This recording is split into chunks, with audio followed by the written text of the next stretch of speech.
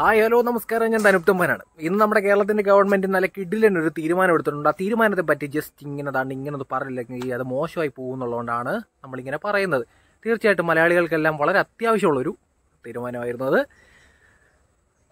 നമ്മുടെ ഗവൺമെന്റിന് ഒരു കരുതൽ എന്നൊക്കെ പറയുമ്പോൾ നമ്മൾ മനസ്സിലാക്കേണ്ടത് അന്യായ കരുതലാണ് നമ്മുടെ ഗവൺമെന്റ്. തീരുമാനം ഒരു പക്ഷേ നമ്മളിപ്പോൾ പറയുമ്പോൾ നിങ്ങൾ വിചാരിക്കും കെ ആർ ടി സിയിൽ ഇപ്പം ഷെഡ്യൂളൊക്കെ ഒന്ന് മുടക്കി കിടക്കുക പൈസ ഇല്ലാത്തതുകൊണ്ട്.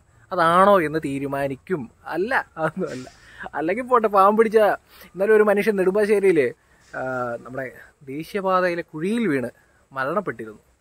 അതുമായി ബന്ധപ്പെട്ട് കുഴിയെല്ലാം അടയ്ക്കാൻ പോകുവാകും എന്ന് വിചാരിക്കും. എന്നാലല്ല പോട്ടെ സഹകരണ ബാങ്ക് ഉണ്ടല്ലോ നമ്മുടെ സഹകരണ ബാങ്ക്. സഹകരണ ബാങ്കിൽ കോടിക്കണക്കിന് രൂപ സെക്രട്ടറിയും പ്രസിഡന്റും എല്ലാം കൂടെ അടിച്ചു മാറ്റിക്കൊണ്ടുപോയി.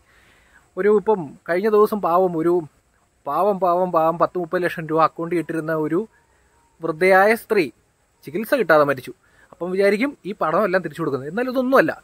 മഹാഭൂരിപക്ഷം മലയാളികളെയും നമ്മ നമ്മുടെ ഇങ്ങനെ കോരി തിരിപ്പിക്കുന്ന തീരുമാനം എടുത്തിരിക്കുക ഗവൺമെന്റ് സംഭവം ഇത്രയേ ഉള്ളൂ. ഹെൽമെറ്റ് ഉണ്ടല്ലേ? ഹെൽമെറ്റ്. ഹെൽമെറ്റിൽ ക്യാമറ വെക്കരുത്. ക്യാമറ വെച്ചാൽ വിഷയമാകും എന്നുള്ള. ഇതായിരുന്നു മലയാളി ഇപ്പം നേരിട്ടുകൊണ്ടിരുന്ന ഏറ്റവും വലിയ പ്രശ്നം. ഇത് ഇത് ആരോ കാഞ്ഞ ബുദ്ധിയുള്ളൊരു ഉദ്യാസത്തിന്റെ പരിപാടി കേട്ടോ. സംഭവം സത്യമായിട്ട് മലയാളികൾ എല്ലാവർക്കും ഉപകാരപ്പെടുന്ന രീതിയിൽ നല്ലൊരു തീരുമാനം. ആരാണ് ഈ തീരുമാനങ്ങളൊക്കെ എടുക്കുന്നത് എന്നുള്ള ഒരു സംശയം ചോദിച്ചുകൊണ്ട് ഞാൻ ചോദിച്ചോട്ടെ.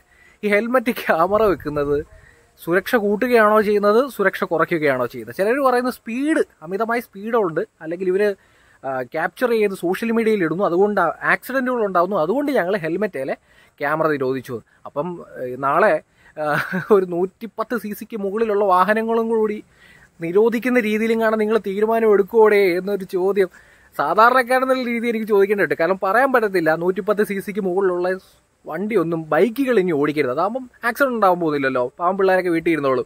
പണ്ടത്തെ കുട്ടമ്പിള്ള പോലീസ് ഇറങ്ങുന്ന പോലെ നിങ്ങളും ഇറങ്ങണം. നൂറ്റിപ്പത്ത് സി സിക്ക് മുകളിലുള്ള വണ്ടി ഇനി വെളിയിൽ ഇറക്കാൻ. നിങ്ങൾ ബോധവൽക്കരണം നടത്തണം.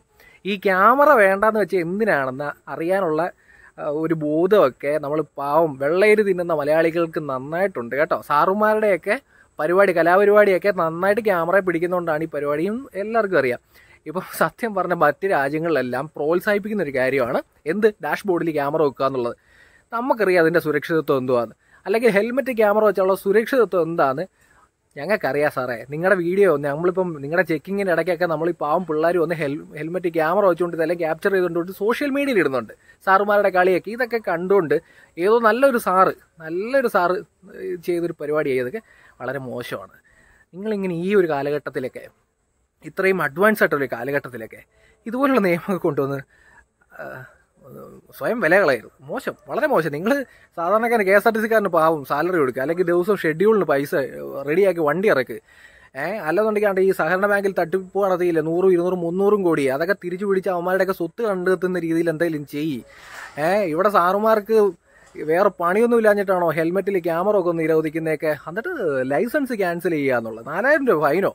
എന്തൊക്കെയാണെന്നാ ഇവർ പറയുന്നത് എന്തായാലും സെക്രട്ടേറിയറ്റിനകത്തൊരു തലപുകഞ്ഞ ഒരു ഉദ്യോഗസ്ഥനിപ്പോൾ ഉണ്ട് എന്തായാലും ഉദ്യോഗസ്ഥന് എല്ലാവിധത്തിലുള്ള ആശംസകളും അറിയിക്കാൻ ഈ ഒരു സമയം ഉപകാരപ്പെടും എന്ന് വിചാരിക്കുന്നു. എന്തിനാ സാറേ ഇങ്ങനെ പറയിപ്പിക്കാൻ വേണ്ടി ഇങ്ങനെ നിങ്ങൾ ഓരോ നിയമമായിട്ട് വരുന്നത്?